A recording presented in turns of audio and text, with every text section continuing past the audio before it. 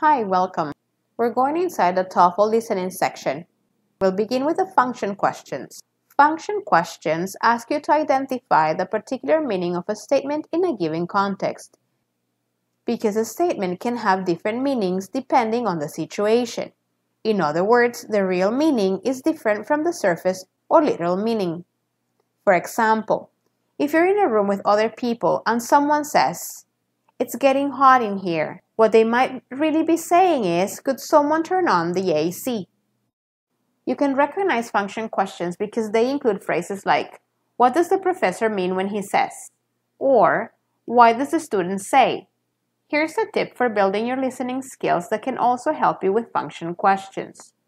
When listening to a passage, ask yourself what the speaker is really doing by saying certain things. The speaker may be doing things like directing, recommending, complaining, agreeing or disagreeing, questioning, or confirming.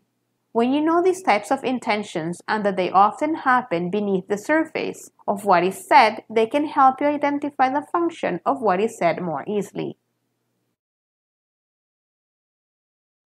Now you may take a look at the sample question.